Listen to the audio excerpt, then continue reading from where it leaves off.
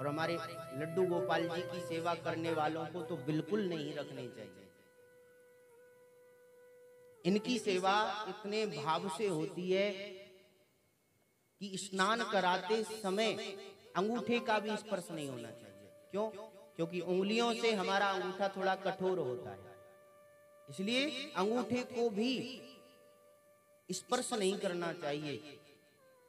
इतने प्रभु ने भाव से यहाँ संतों ने अपना भाव प्रकट किया। इसलिए कभी भी भगवान के भक्तों को ठाकुर जी की सेवा करते समय बड़े नखुन नहीं रखने चाहिए।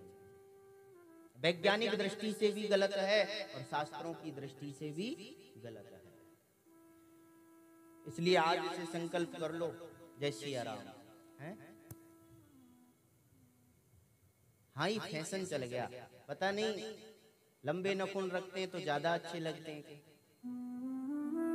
और सत्य बताएँ, यदि कोई अच्छा व्यक्ति लंबे नखून देखेगा ना तो कहेगा, ये कुमार्ग की ओर जा चुका है।